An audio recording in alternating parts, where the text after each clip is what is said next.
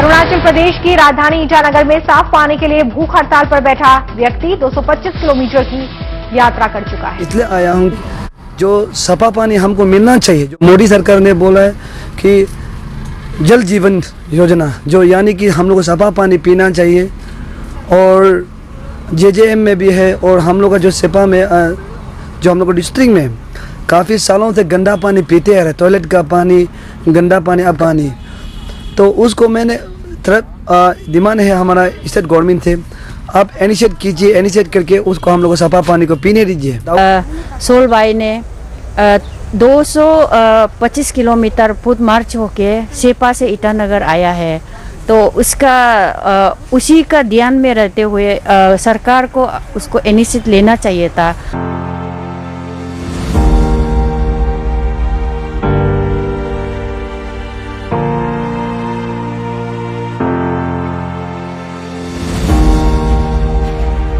नौकरी भी वो करेगा लीडर भी वो बनेगा पैसा भी वो कमाएगा बिज़नेस भी वो करेगा बड़ा बड़ा गाड़ी भी वो पकड़ेगा बड़ा बड़ा भी वो मारेगा बड़ा बड़ा लीडर और भी वो बनेगा। बस हम आम जनता को उसका नौकर बनते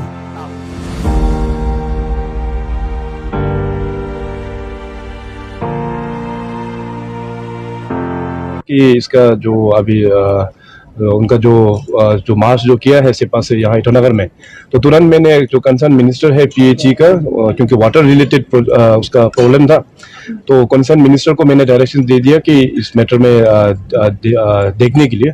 और मिनिस्टर का यहाँ से रिस्पांस आया कि चीफ इंजीनियर जो इंचार्ज है उस सेक्टर का, उस चीफ इंजीनियर को ऑन ग्राउंड वेरिफिकेशन के लिए भेजा हुआ है। उससे मैं रिक्वेस्ट करना चाहूँगा कि उन्होंने जो इश्यूज़ लाए हैं, उसको डिपार्टमेंट बहुत सीरियसली अटेंड कर रहा है।